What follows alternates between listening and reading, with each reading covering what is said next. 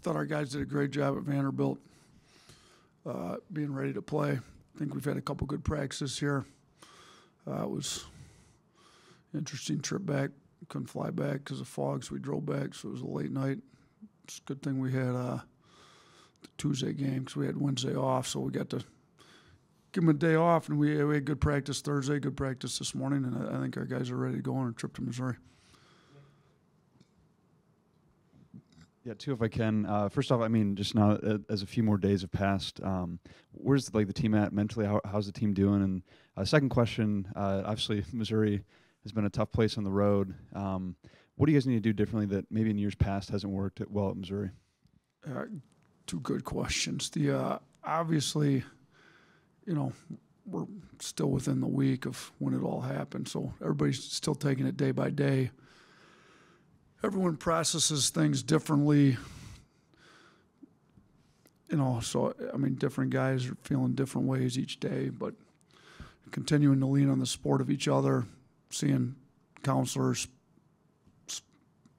board psychologists, you know, our, our thoughts and prayers. I read the guys' passage on Joseph this morning from uh, from the Word, but you know, our thoughts and prayers are still with Jamia, her family.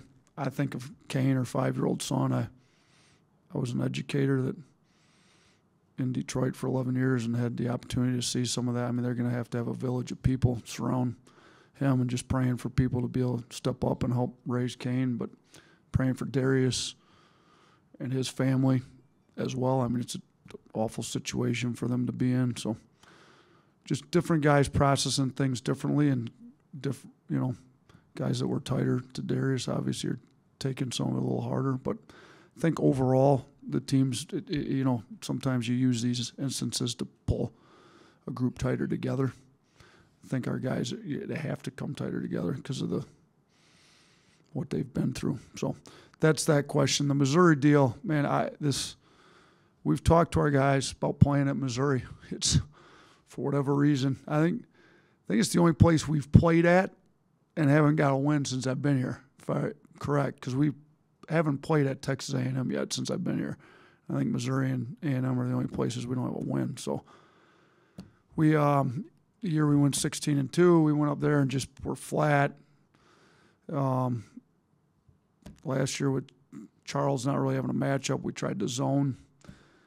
You know, didn't work very well for us. Uh, they, they, they provide matchup problems this year again. I mean, they, you know, Kobe Brown's uh, an Alabama kid that, you know, is up at Missouri. Seems like he's always up for our game, and he's a mismatch problem. I mean, you put your five on him, he's shooting 41% from three on the year. Put smaller guys on him, he kind of bullies them. Like, you know, he, he's an issue. But they, you know, offensively, they at one point this year they were number one in the country in KenPom offensive efficiency. I think they're they're still top ten if uh, unless something changed last night. But they're uh, they're a really good offensive team. You know, Coach Gates has done a good job modernizing their offense. They play faster. They, you know, at least with tempo and things like that, they play similar to the way we play and spread the floor out. A lot of five out stuff, a lot of threes. So you know, I, this team's a lot different than the teams that lost up there. I obviously the, the, really good team we had here two years ago lost up there too. But I just kind of like I tell our guys, you don't win games at home on the road. You know, I, there's been places. Apparently, Vanderbilt was a tough place to play here before, where we've gone in and yeah, we're just gonna have to change the narrative about Missouri. To be honest with you, we're gonna have to go out, play hard. First four minutes have to be really good. Our defense has to be great because they're so good offensively. On their side of the ball, they're they're number one in the country in steal percentage. We've had an issue with turnovers. Like if we turn the ball over like we were doing earlier in the year, we're not going to give our defense a chance to even guard them. So on our offensive end, we really got to take care of the ball. If we can take care of the ball, we'll get quality shots. But that, that's been an issue for us in the past. I know you've already played in tough road environments at Houston and Arkansas, but with now being in the top five, top of the SEC standings, how are you kind of dealing with the growing target on your back, especially on the road with these sellout crowds that seem to keep happening? Yeah, I think I, I was talking with someone about that earlier this week. Like it went from we were going in, you know, beating Houston on the road. All we're celebrating. They're number one. You know, we celebrated hard after the Carolina win. They were number one. Now it's teams are going to celebrate really hard if they beat us. So it's it's changed a little bit from the beginning of the year. We're not that we're number one, but we're top five. So, you know, I I don't think it changes a whole lot what we do. Just know we're going to get everybody's best performance, and we can't afford to not be ready to play because everybody we play from here on out is going to be ready to play against us. You know, I'm sure we'll have a lot of sellouts. Places we go, fans are going to want to see their team play against top five team. They're going to be amped up trying to upset top five team. You know, different programs haven't beat a top five team, and you know who know how long. So we just we're going to get everybody's A game. But to me, that that's fine because the goal is to be playing your best basketball come March. I think the reason we schedule our non-conference as tough as it is, we want to play against the best and we want to get better. If you're taking everybody's A game, you're going to make yourself better because you have to bring it every night, and if you don't, you get exposed. So, so different guys going to have to step up, and we're looking forward to the challenge. Yeah, taking it back to Tuesday, you mentioned that you had to drive home instead of fly. You guys stopped at the Buc-ee's in Athens. You know, was that was that whole late night kind of a team building thing? And you know, where did you see your guys grow after that win? Yeah. And Listen, I told the team, I got on the, uh, you know, the microphone to talk over the bus and told them what the scenario was. And Brandon shot me a text from the back of the bus said, hey, "Sleep, sleep over at the Miller House." You know, he's from up there. I said, "All 50 of us." He said, "Yeah, be about as tight as it is on this bus." but we uh, we got a second bus. The bus company's uh, uh, based out of Nashville and Huntsville both, so they got us a second bus in Huntsville. So the bus company said to meet them at Buc-ee's, and we took half the people so you could spread out a little bit more and sleep. But uh, I'm under the understanding Greg Byrne's a big Buc-ee's fan, so I'm, I'm sure he was happy that uh, we did the bus change over at Buc-ee's. It's the first time I've been in one. Had a lot of stuff in there that you don't see. It, it's not a normal gas station. I mean, shoot, you can buy. It's like a grocery. store. I don't know, restaurant slash grocery store slash convenience store. I don't. They had a lot of stuff in there. I I didn't buy too much of it. Or a lot of our players walked out with big bags of food though. Coach, uh, during SEC play, undefeated, but you know, do you worry at all about potentially a little dip in your guys? You have a lot of freshmen, young guys. Do you worry about that, or do you kind of lean into something like that? Because you said your best play has to be in March. Yeah, I mean, you're always worried about that a little bit because you can get complacent after. You know, I, I told our guys this morning if we split the conference play up into thirds, we're a third of the way through. Like we've got twice as many games less left as what we played. A and M's five and zero. Tennessee and Auburn are five and one. Like it's not like we're separated ourselves from the pack a whole lot. Like we've got people right on our tails with you know one team a half game behind, two others uh, just a game behind. So, you know, we're one bad game away from not being in first place anymore. So uh, we've got to stay motivated, stay diligent to the task at hand, and yeah, I mean, freshmen playing a little longer season, probably more wear and tear, more travel, more stress. So yeah, we worry about it a little bit. I do think we've got some veteran guys that maybe haven't played their best basketball and should be fresh. I mean, Dom Welch has played a lot of games in college. He's still kind of getting into his groove from the injury. Uh, Nimari, when he gets cleared to come back, will have had a month plus, month and a half off. Hopefully, he'll be fresh. Legs will be fresh. You know, so I think Quinerly, you know, hasn't been relied on for super heavy minutes yet, and I think he's got a lot more in there. Shoot, go back two years ago, he really turned it up about this time, started playing really well. So I think we've got some veteran guys. Noah Gurley's coming off the bench, hasn't had to play super heavy minutes all the time. You know, some games we need him to, but those four, those are four guys off the bench that are veteran, experienced guys that understand how you have to play in January, February, March to be able to do anything. So hopefully, you know, our freshmen continue to play well, but we definitely have some experienced guys that we can put in there that they can give us some quality minutes as well.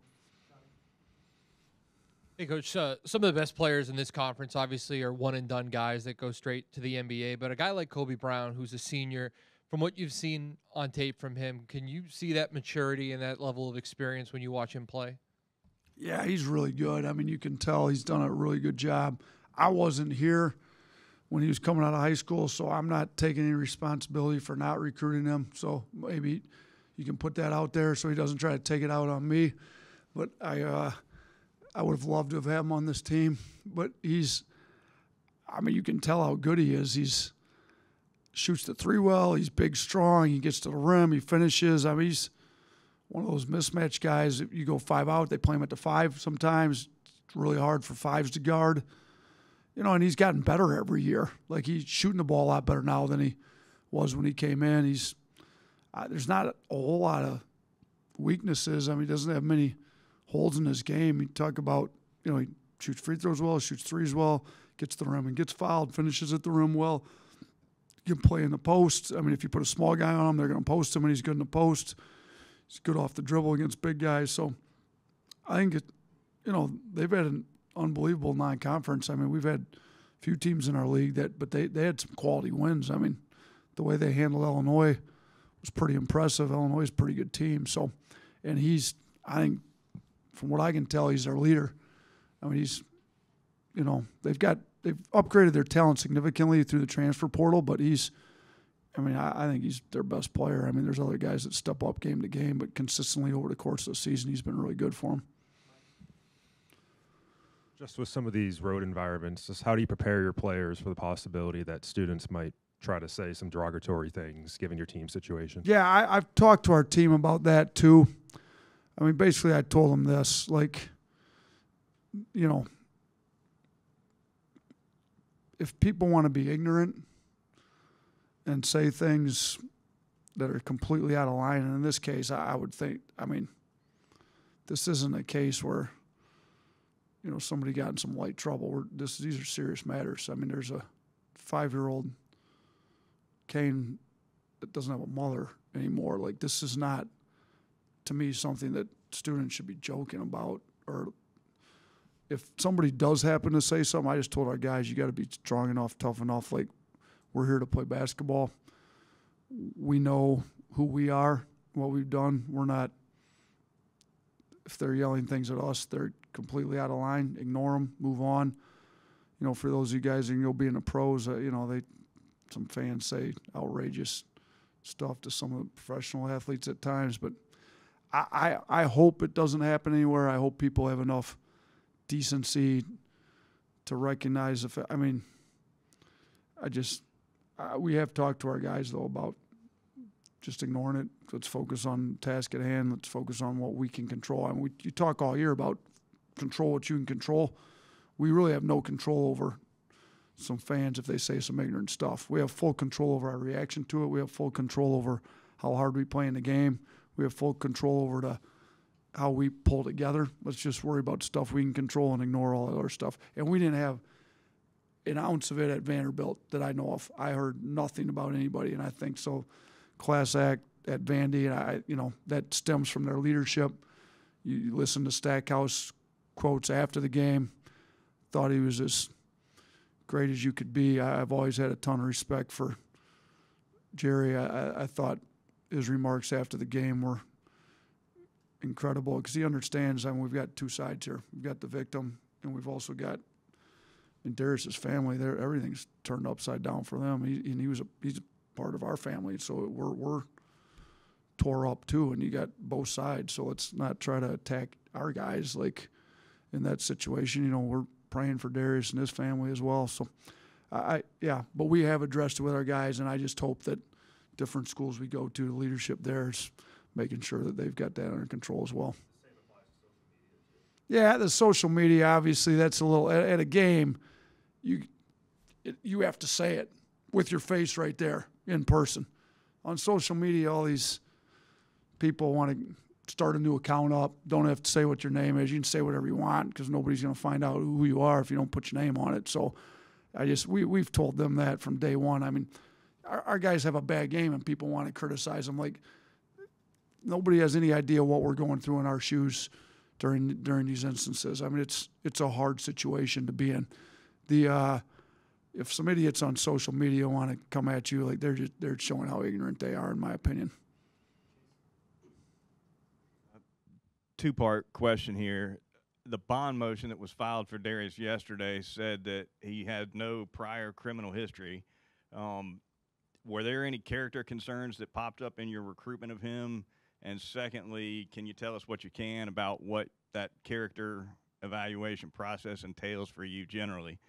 Yeah, that's a good question. Look, so we recruited Darius during COVID when you couldn't go visit him, so it was all done, you know, via Zooms and phone calls. And look, I, I love the kid. He's super easy to talk to. He still is. I mean, he's he's one of my favorite kids I've coached. So there during the recruitment process, there was none. I mean, you get the typical, you know, he's so talented that sometimes, you know, maybe he takes plays off. That had nothing to do with his character off the floor at all. There was zero off the floor character issues when we recruited him. And to be honest with you, even when he was here, we had no real issues with him off the floor. It was just, I mean, he's a likable kid that everybody liked. You know, the only issues we ever had were just trying to get him motivated, play a little harder in practice, you know, be more consistent, just basketball stuff, to be honest with you. So uh, nobody saw this coming. He comes from a, a really good family. I mean, his dad's retired military. His dad's got a great job back in D.C. He's a great guy. His mom's police officer in D.C. area, and she's a great woman. I, I- just feel awful for both of them because this isn't really anything anybody ever anticipated Darius getting caught up in. So, what what our general character evaluation for recruiting is now that it's you know not in COVID, we always like to see people in person, bring them here. You get a better feel for them, their family. When they come on a visit, you go to see them in their house. But we'll call. I mean, I was a high school teacher and coach, so I, I very familiar with the high school scene. Like, we'll call. You know, the coach usually doesn't want to say anything poorly about the kid, and we get that. So you get a somewhat honest eval from most coaches, but it's very they- they, want their kids to go to the highest level they can, if that makes sense. You get a little bit more honest when you start calling the teachers, the principals, the guidance counselors. You're in a school visiting a kid. We were in a school, me and Brian were a couple weeks ago in Ohio. We talked to the custodian, the night custodian. They had practice in the evening. That's the custodian that's around the team all the time when nobody else around. You find a lot more out about kids doing some research like that. And so we, we try as hard as we can to do the most background we can to make sure we got high character kids. And I love our group. Like this year's group is unbelievable. Like I love them. And I'm just it's part of the whole shock of this thing, to be honest with you. Like nobody, this isn't, I mean, I can't speak to the ongoing investigation because it's an ongoing investigation. It's just a tragic situation. But no, no, if we would have seen anything like this coming, we would have tried to do something. No, nobody saw anything like this coming, to be honest with you. Just with a few more days, have you seen the team respond? And now that you have a game under your belt, you're getting ready for another one. Does that kind of somewhat return to normalcy as much as it is? Is it good for the guys? Yeah, I do think it's good. You know, uh, they met with counselors. We had Wednesday off. I told you, a sports psychologist was here. Like, you know, I, I think in me talking to different people I've talked to as well, like we got to get them back into a disciplined day as normal as possible. Their their minds are obviously going to be with Jamia's family, Kane. They, they they feel bad for this whole situation. They're going to be with Darius and his family. We all are, the whole program. But as much sense of normalcy as we can get, go to class, you know, get your treatment, come into practice. Yeah, like we're trying to, while still keeping everything in prayer and talking about it when need be, we're still trying to make this as normal a situation as you possibly can. And, and to be honest with you, the two road trips back to back after the whole incident happened is not the worst thing to happen. We get on the road, spend some time together, healing together, talking through it. I, I think it's actually a good situation. So, yeah, we're the basketball side. Obviously, Sunday was as different a day as you can get, and that, that, that schedule got changed up a little bit. After that, it's been as normal basketball wise. Typical off day Wednesday, everything we normally do on a Thursday, we did, got all the video done. Everything we do today before practice, after practice, everything's normal. Saturday, eh, everything's as normal as we can be, basketball wise, school wise, all that stuff. Well, first of all, did you uh, buy any art on velvet at Buc-ee's? What did I buy? Any what? They've got an art section of velvet paintings. I thought maybe you would No, I didn't even up. make it over to that section. I didn't know that. Like that thing was so big. I I, I walked in, everything to the right looked like the food, and a little bit over here, you know, all the fresh food. I just so apparently way over there to the left, they got art section. I don't know where in that one, but they've got. No. I didn't know that. No, I didn't. No, I'm not going to buy my art from Buc-ee's. I don't think. The other, what I really wanted to ask was, uh, it's been a couple weeks since we checked on Nimari, and just uh, any updates? Yeah, there? so he's uh, returned to practice in a limited role. He's um, been able been able to shoot on the side. He's gotten the um, cast uh, and brace off. He's had to have a heavy tape job, but shoot, uh, we're going to see how he responds. Uh, I think Clark's talking to the surgeon that did the surgery. He's getting close. Uh, I would what is that? It was December 10th, if I remember right, and I think we had the surgery that next week. So what are what are we? Today's the 20th. So what is that? 31 days. So what was that? Four and a half weeks, and we said about six. It might be next week. At the end of next week, would probably be five and a half, pushing six. So we're. I look. He, he's he's been in practice the last two days, and and not, he hasn't been cleared to do everything in practice, but enough. So I, I think Clark's going to speak to uh, the uh, trainer, and, or I'm sorry, to the surgeon. And I think after these two practices, tell him where he's at. He probably have to get a, uh, another X-ray, from what I understand, and see where everything's at. And he's, he's he's close. He's getting real close here in the next few games. And he, uh, obviously, Dom's not going to shoot eight percent from deep the whole year, I sure hope not. but. How, I mean, how- it's, it's limited reps too. You know, Right. How do you? First of all, what what do you think the this is beyond the str- behind the struggles of that? And then second, how do you get a guy through that with also playing the the best players on the floor? I mean, you, you only can be on the floor for a certain amount of uh, time. Listen, it's a really good question. I think you kind of, in your question, answered some of why it's so hard. Like it's, you know, he's he's one of thirteen on the year, correct? Yeah, he's only got thirteen up. It's really hard to come in every game and go one for two. Like it's easy to go over two. When you're getting eight, you know, if he was able to get eight attempts up a game, he wouldn't be shooting thirteen percent or eight percent, I guess, one out of thirteen. He like so uh, part of these struggles, in my opinion, are he was out for a while. It takes you a little while to get back. When he came back, we're playing so well. It's hard to just focus on just getting him. You can't sacrifice wins and losses at the expense of getting one player back. Well, when you're in limited minutes and limited reps, it's hard as a shooter. I mean, when he was at St. Bonaventure and shot 40%, almost 40% from three his whole career, he was starting, playing heavy minutes. Could, you know, if he had a game, he started 0 for 5, he can probably have three more shots in, in the game, three for eight, and he ends up all right. Well, we don't really have that luxury here right now with what we've got riding on the season. I mean, we've, you know, we've got a number one seed in an NCAA tournament. Like, like every every game's really important. We're gonna try as best we can to get him back. I thought he had two unbelievable days of practice, and and I thought, you know, we chart the blue collar points. I thought his blue collar points uh, halfway through third yesterday's practice were the highest on the team. I thought he had a really good day, but I told the team too after after practice, like I thought this is the best Dom's practice since he's been back. But I also thought he kind of lost himself in a game, just played really hard. I think shooters, skilled guys, when you just lose yourself in playing in the game and play really hard, like your instincts take over. And he's an instinctual player, and he made shots. So if we can just get him focused on that, just play hard, lock in on defense. You know, he's not going to be able to play the amount of minutes he did at Bonaventure. We've got a lottery pick wing player playing in front of him. Like Brandon's got minutes to play. You know, when Nimari gets cleared to come back, he's got minutes. Jaden Bradley got put in the starting lineup. He's playing great, which means Sears plays a little more off the ball. It's just we're deep. It's great this year that we're this deep, but it but it it hurts trying to get him back as quick as we need to. So we're going to try our best to do it because I really feel like he can help us on both sides of the ball. I think we need some veteran guys as we're making it through the season that can really play, and we need him to start making some shots. But I think his focus can't be on making shots. That always backfires. It's got to be on losing yourself in a game, playing hard on defense, doing all the little